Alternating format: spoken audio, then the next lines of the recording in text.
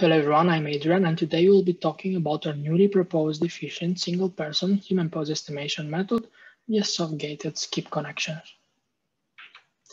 Human pose estimation is a process of accurately localizing a set of key points that roughly define the pose of a person, giving an RGB or a grayscale image as an input. The landmarks correspond usually to the location of major joints of a human skeleton. There are too many approaches for doing it.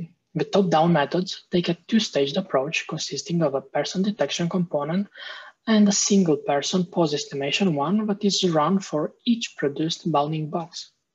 The second type, the bottom-up approach, detects the joints of each person and their location jointly. While initially the latter was performing better for cases where multiple person overlap, the recent advantage in object localization largely swing the lead in the other direction. Our method is part of a top-down methods family. Most of the current methods use fully convolutional networks with encoder-decoder structure that often gradually define upon an initial prediction.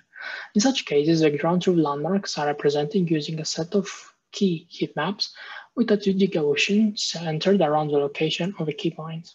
These settings is easier to learn and is more natural both for the convolutional network and humans to interpret. More recent methods propose complex pipeline, either using carefully designed networks or using generative neural networks to either augment the data or enforce stronger relationship between the parts of the body.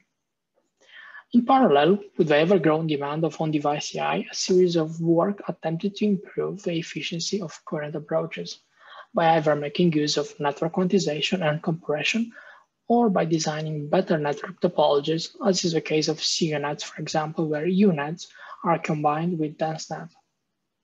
In our work, with minimal changes to the already established hour-of-glass structure, we propose to look at an often overlooked component, the skip connection mechanism, analyzing its potential detrimental effect and proposing a solution to alleviate this.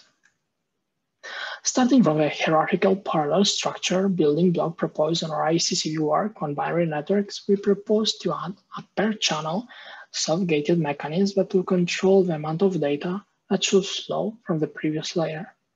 While skip connections are generally beneficial, they can also hinder the training process since they indirectly force a new function to take into consideration the full output of the previous layer, learning typically small increments on top of the already learned function.